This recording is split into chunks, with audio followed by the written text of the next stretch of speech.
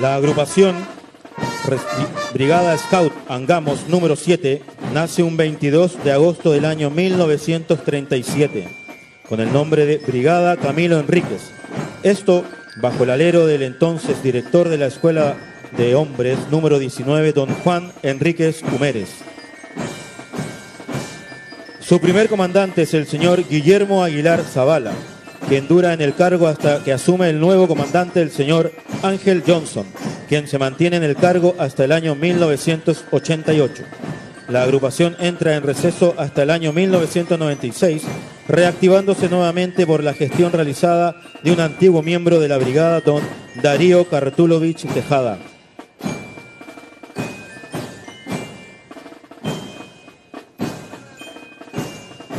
Asume nuevamente como comandante por un corto periodo don Ángel Johnson, hasta que toma este cargo don Robinson Avendaño.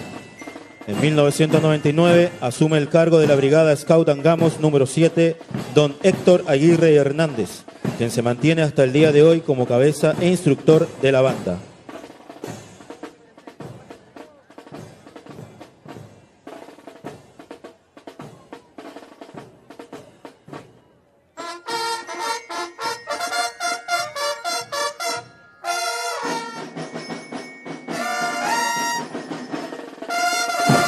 A continuación, desencajona la banda Scout Angamos número 7.